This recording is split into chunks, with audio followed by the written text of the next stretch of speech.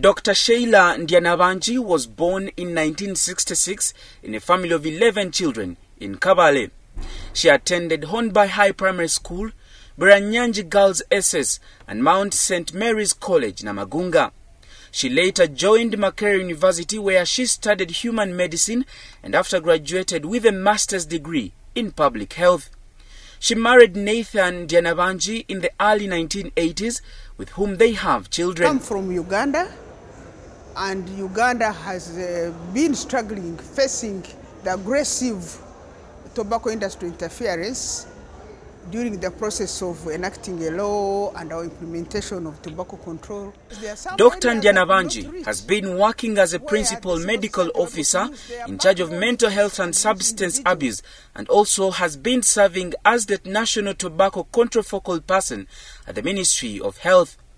She has been so instrumental in the passing of the tobacco control law that came into action in May 2016. The arguments of our council, they boiled it down that they want injunction on 22 sections.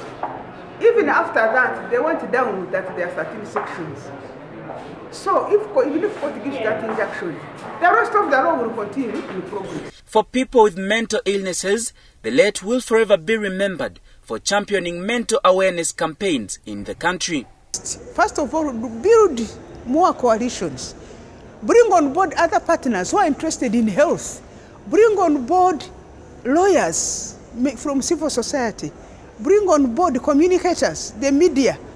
And I believe working together like that, we shall be able to chase away the tobacco industry, the wounded buffalo.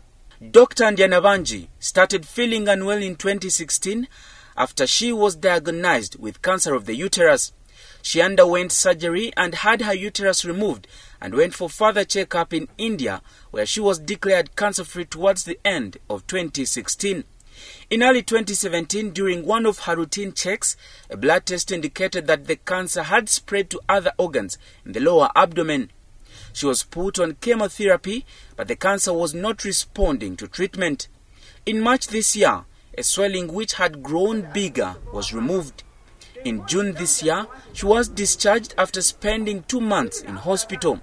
She was readmitted about a week ago, and it's on Tuesday when she was taken to ICU after developing hardships with breathing, where she passed on this morning.